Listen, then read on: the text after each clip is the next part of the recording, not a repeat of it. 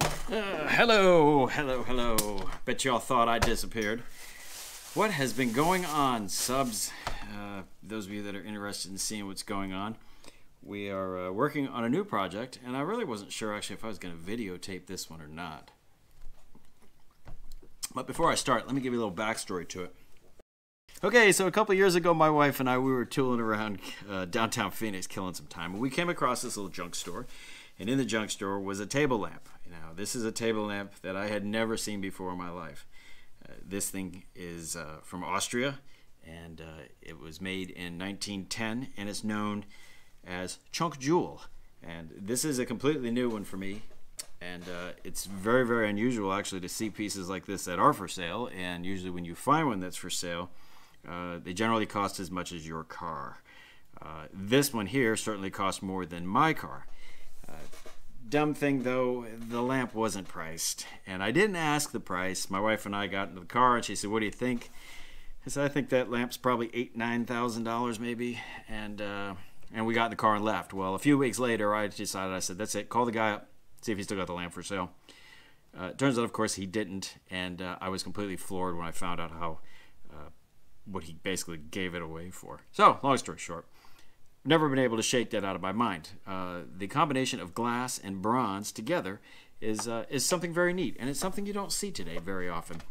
So this project here, which I didn't think actually I was going to film, I decided, you know what? I think I will. Maybe you guys will learn something from it. I know I'm about to learn a whole lot from this because I've never been down this road before. So let me show you kind of what we have in store. And uh, this is uh, my first shot at uh, working with glass. So you're going to see a little bit of glass work on this one. You're going to see some clay work, uh, a little bit of modeling, and uh, of course, obviously some bronze work. Uh, maybe I'll show a little bit of the patina work. Maybe I don't know. We'll see how far we go with this. But I want to show you basically what I want to make.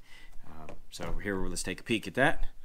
This is basically what I want to try to make. Now, I drew this uh, recently uh, while I was gone, and something I had been kind of thinking of. One of the things with Art Nouveau styling is it's it's kind of very uh, uh Jules Verne-ish almost. Uh, the way that uh, a lot of stuff, shapes and things, might actually be a throwback to the science fiction age, I guess I think 20,000 Leagues Under the Sea.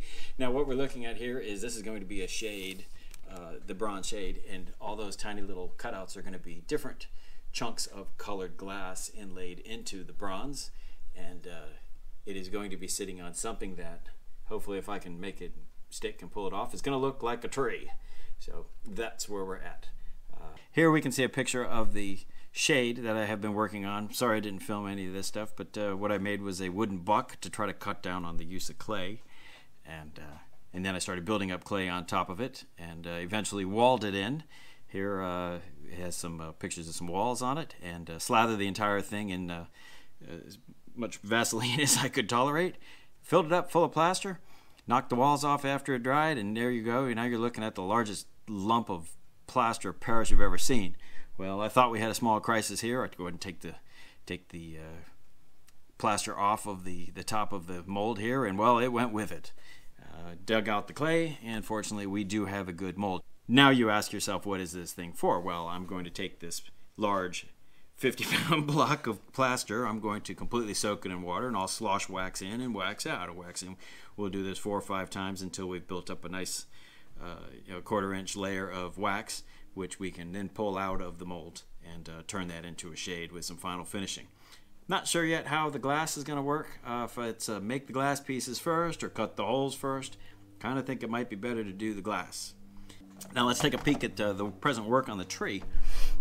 Uh, now, you all know that I am not you all know that I am certainly not the best sculptor out there. I am far from it. So, any advice you have to make a tree, please down below tell me.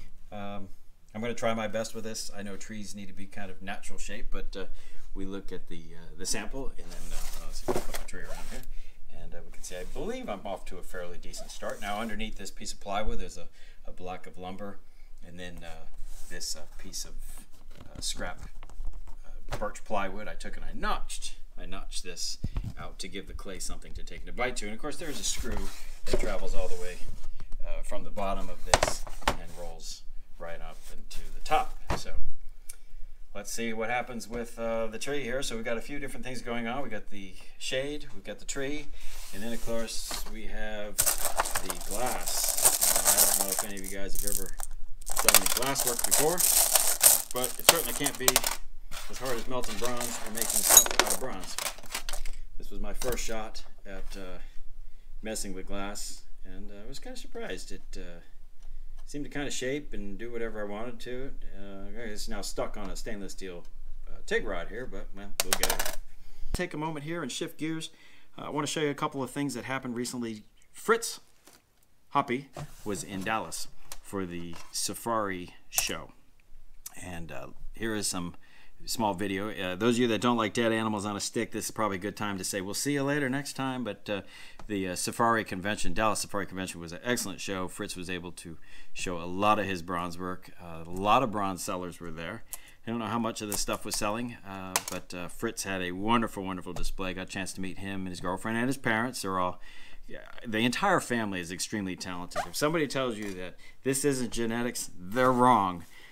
His brother did this piece right here with the two lions uh, trying to kill each other. Amazing piece. I would be very, very proud to have that in my house. Anybody would be. Uh, that entire family is extremely gifted. So uh, kick back, uh, watch a couple shots from the uh, Dallas Safari Show. Watch, don't forget to watch his channel, and you'll probably see a small little spot there where I took and uh, he asked him a couple questions, and we just kind of basically said hello to everybody. And alrighty, well there you go. Thanks, guys. We'll see you guys again soon.